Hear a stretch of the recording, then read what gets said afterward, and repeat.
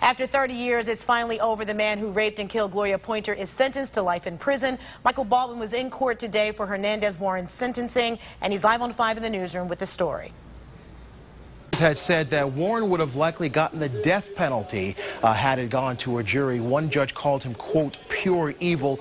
Warren got his say on Wednesday, but today it was the family's turn, after 30 long years, to address him directly.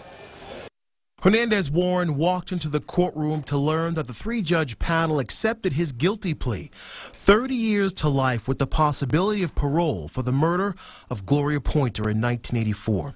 He may have gotten away with it if not for DNA evidence that linked him to the case. On Wednesday, he apologized for his actions. Today, it was the family's turn to talk, starting with Gloria's uncle Ray, who pulled no punches. And he has the nerve to come in open court and ask for forgiveness? How did you say you hit her with the rock? Save us from somebody like him. This man does not deserve to walk the streets. He's in the streets of prison.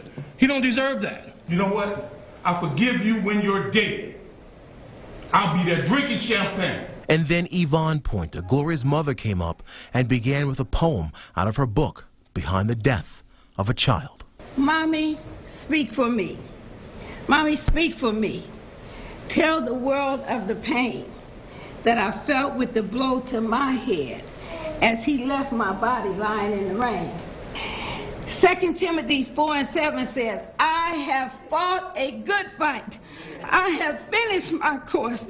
I have kept the faith. And henceforth, there is a crown of righteousness laid up for me. May the Lord have mercy on your soul.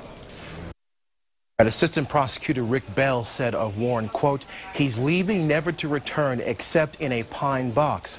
And when it comes to the possibility of parole for Warren within 30 years, one of the judges said, quote, wherever I am in 30 years, I will ensure that you remain in an institution. We're live on 5 in the newsroom. I'm Michael Baldwin.